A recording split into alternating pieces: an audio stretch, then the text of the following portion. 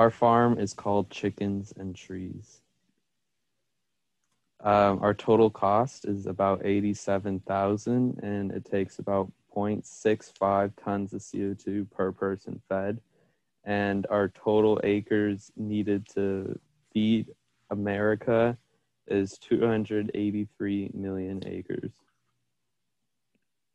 Okay, so one really unique aspect about our farm is that the majority of our land is occupied with trees and then natural fertilizer. Um, so our farm offsets its CO2 production with our large amount of trees, which makes its environmental impact better. Um, the, however, there are some limitations to our farm.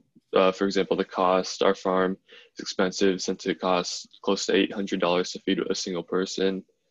Um, it uh, requires many acres for a single person, um, and it can only feed up to 112 people. However, the total CO2 our farm uses makes up for that.